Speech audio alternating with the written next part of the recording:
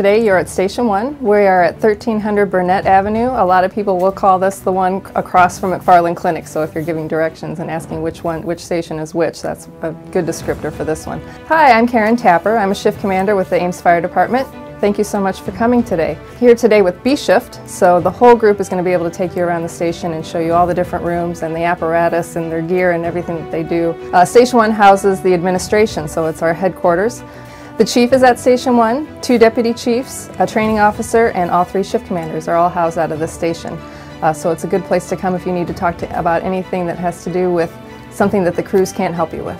The fire chief for the City of Ames is Chief Richard Higgins, and this is his office. He does a fantastic job of being around every day and meeting with the crews and being able to answer all the questions that we have. Um, he does a great job of just really making sure that the community is taken care of and that his people are taken care of as well.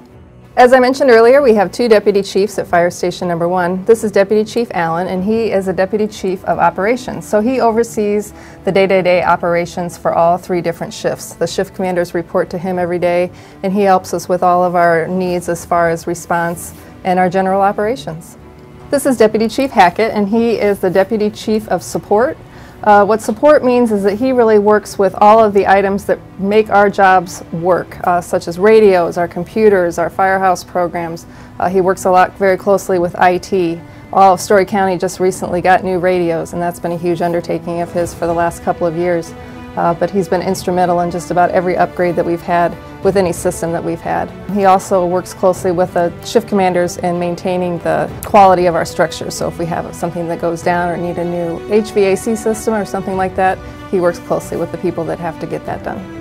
In addition to working with the radios, uh, dispatch, and the other systems at the departments, he oversees the fire inspector. Uh, the fire inspector will meet with him quite often and bounce ideas off of him as well. Uh, so he's very instrumental in our fire inspection side of things. We are fortunate to have one training officer on our department and he is responsible for scheduling all of the training and certifications that we need to get. Some of that training is a huge undertaking and takes quite a bit of time. So in addition to creating huge programs like that, uh, he schedules day-to-day -day training as far as EMS, auto extrication, all the skills that we have as a department that we need to train on every year or several times a year. This is the shift commander's office. Uh, the Ames Fire Department has three shift commanders, uh, one for each A, B, and C shift.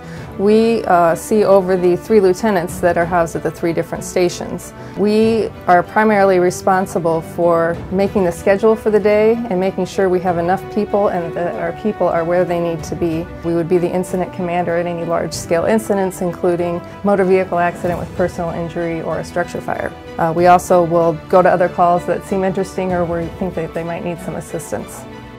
This is our kitchen and dining room area, and every morning after the lieutenant meets with the shift commander, he or she then meets with their crew to schedule the day for that particular station. Uh, while the shift commander gives them the information of what has to happen that day, each individual station will have their own schedule that they have to run each day. Since we work 24-hour shifts, we also have to eat here. Uh, so we plan our meals every morning um, at the table. Some crews eat the same meal all together and others will eat, bring in their own things. We then make a list of what we need and send the rescue uh, to the grocery store to pick up the items.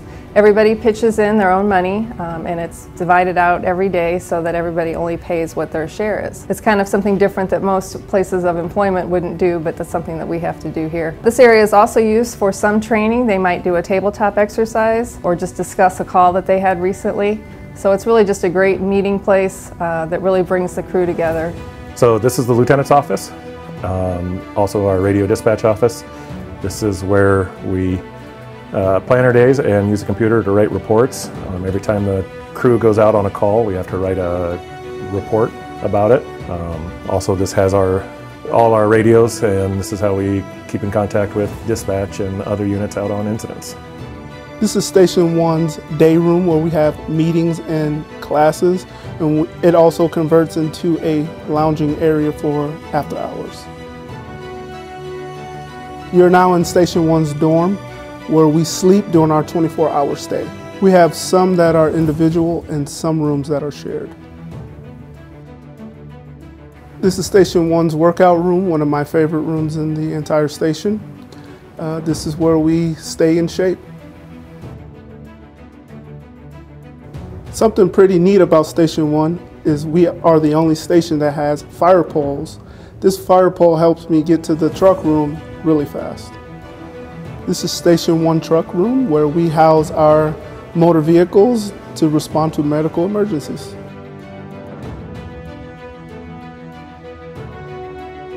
Thank you for watching our tour. If you would like any more information, please feel free to call us or visit our website at cityofames.org/fire.